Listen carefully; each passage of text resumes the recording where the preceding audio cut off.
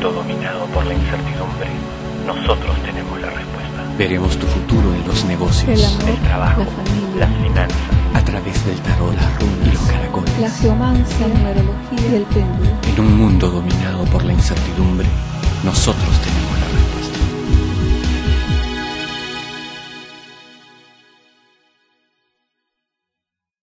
Hola Tauro, eres bienvenido al horóscopo semanal de arcanos.com. Recuerda Tauro que si deseas una lectura de tarot privada, personalizada, ingresa a nuestro sitio web, ves la dirección y te la digo todo el tiempo, y una vez que estés ahí, dale clic a las tarjetas de crédito que giran. Dinero, negocios, finanzas, esta semana para ti. Vas a cambiar muchas cosas y vas a tener que aceptarlo.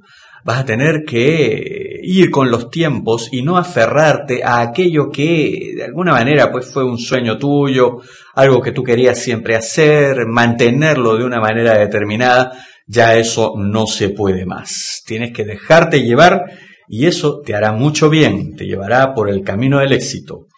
Profesión, trabajo dependiente esta semana para ti te sientes muy oprimido, sientes que no te están dando el lugar que mereces, ni están tomando en cuenta tus eh, recomendaciones como antes.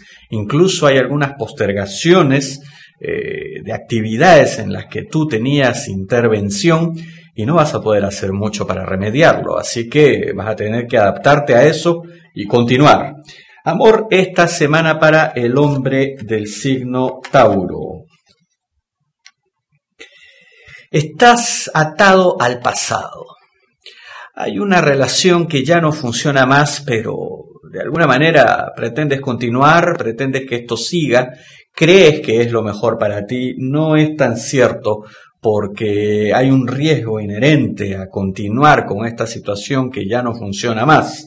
Eh, y ese riesgo es que, bueno, termines por no poder alejarte ya más adelante por las responsabilidades que pueden aparecer.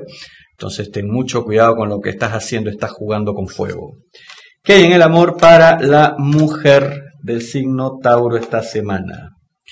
Has tenido mucha paciencia, mucha tolerancia, has soportado muchas cuestiones que no te gustaban, no eran de tu agrado en el amor, eh, y tu pareja pues se ha dado cuenta y de alguna forma ha aprovechado de esta situación y no ha hecho ningún cambio, ningún esfuerzo, no ha puesto nada de su parte para que las cosas caminen entre ustedes. Es momento de tomar una decisión. Muchísimas gracias.